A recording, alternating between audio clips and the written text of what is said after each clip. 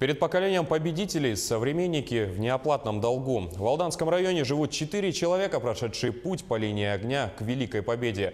В участников Второй мировой войны Александра Кашкарева присоединилась к нашим коллегам. Этот фотоальбом Людмила Кашкарева достает часто. Он хранит самые дорогие семейные снимки. Людмила Яковлевна с мужем Александром Кузьмичем порой подолгу вспоминают юность. Детство Людмилы прошло на берегу Ангары. Когда началась война, ей было 10 лет. Тяготы, лишения и тяжелый труд женщина и сегодня помнит отчетливо. Я с 43-го года, вот мне как 12 лет в апреле исполнилось, работала уже с 12 лет. Работала я на железной дороге, у них подсобное хозяйство было, работать было некому. Мы 6 месяцев учились, 6 месяцев работали. Александр Кузьмич – участник Второй мировой войны. На фронт он отправился в 45-м. Ему тогда едва исполнилось 17.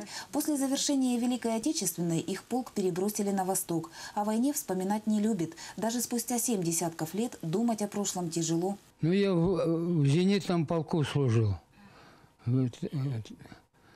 Во время в Японии мы стояли там на границе между Китаем и это, Манчжурией.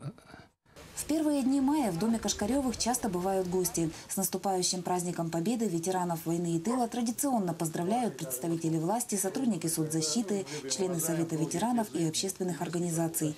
В знак безграничного уважения гости вручают Александру Кузьмичу и Людмиле Яковлевне цветы и подарки. Бесценными же являются сердечные пожелания сил, здоровья и бодрости. Ну, а что пожелать? Пожелать особенно мужчин, мальчикам, чтобы также берегли свою родину. Александр Кузьмич и Людмила Яковлевна вместе 66 лет.